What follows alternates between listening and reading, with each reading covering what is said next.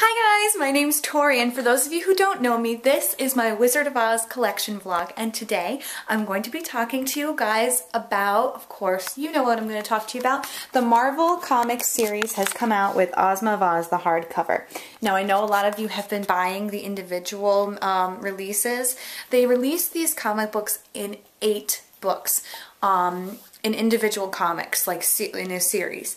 Um, unfortunately, this is a very expensive process because, of course, any collector at the end of the day will want the collectible hardcover. And comic book shops are hard to come by these days. Has anybody noticed that recently? Comic book stores are closing.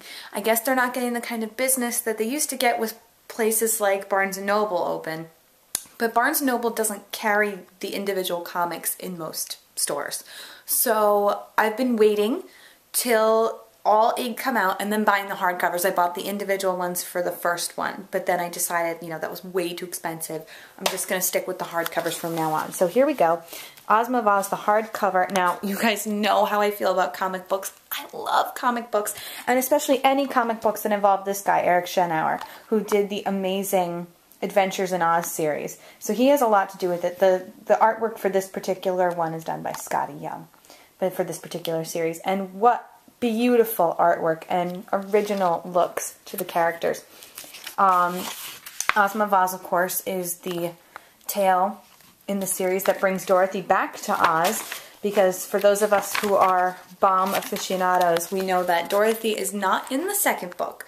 She has nothing to do with it, but we but the readers demanded to see her back and wrote Mr. Baum so many times, you know, where, whatever happened to Dorothy, that he decided to continue her story as well. And Dorothy gets shipwrecked and ends up in the land of Ev.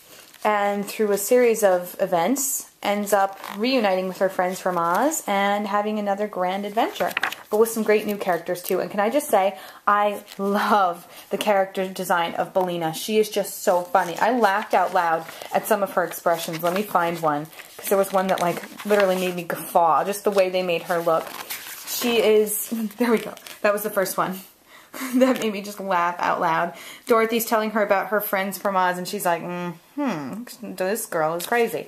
Um, and she just, page after page, the Wheelers, original designs, original ways of telling the story. And, you know, these books are so wonderful. And, but, you know, the way they're written in the, in the hardcover copies, the way that they're written, is really not as accessible, I think, to contemporary children. It's They look like big books. Now, of course, anyone who's read these books knows the writing is very large and there's lots of pictures. But these books look intimidating from the outside, don't they, to a new reader. So I could understand why kids, contemporary children, would be a little bit put off by these. But this format for these stories is so accessible to children. I'm just to trip over everything. My room's a mess. Hot mess.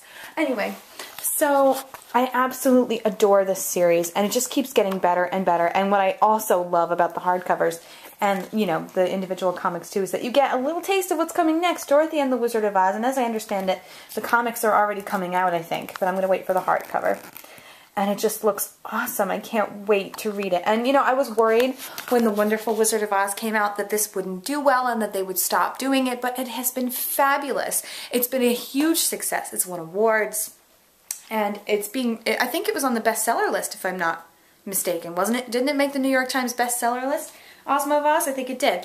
So you guys, we gotta keep this going. We gotta keep this momentum for Oz pumped up. We have so many projects to look forward to in the coming year.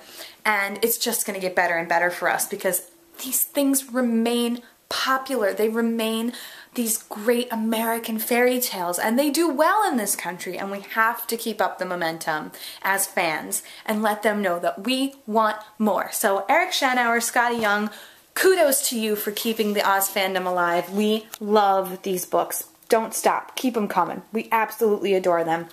And they are fabulous. I recommend them highly to anybody, whether you're a comic book collector, whether you're an Oz fan, be that of the books, of the MGM films, either way, you will love it. Go ahead and buy it. It's worth every penny.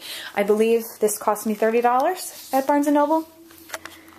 Yeah, about with tax. But I used my Barnes & Noble card, so I got 10% I love that. Um, anyway, so yeah, how are you guys doing? Um, I've noticed a lot of your comments and I will be doing another viewer discussion. So if you'd like to be a part of that, leave questions or comments or topics below and I will be happy to respond to them in the next video, which will be a viewer discussion. And I love you guys. I missed you guys. I've been so busy with school and work and wedding stuff. It's getting a little bit crazy around here and it's only gonna get busier. But can I just say real quick that um, I went to Hallmark this week and they had an entire shelf full of Wizard of Oz home goods. I think somebody actually pointed them out to me and I found them in the store and I'm so excited to go out and buy them for the new house, um, which you guys will get to see soon. Um, we don't have it yet, but it's coming. Um, so when we get the new place, we're gonna adorn it with Wizard of Oz stuff. Now the thing is, we're probably gonna be in a one bedroom apartment and the collection, most of it is gonna have to stay here but I would be happy to keep doing these vlogs post-wedding, to come back to the room or bring as much as I can with me to the apartment and do it from there. Um, but yeah, so guys, Hallmark has amazing home goods. Wine holders, um, coasters, things like that. Great things for your kitchen. Go ahead and check it out. And I love you guys. Don't forget to leave me comments and give me the thumbs up if you want to see more. Bye guys!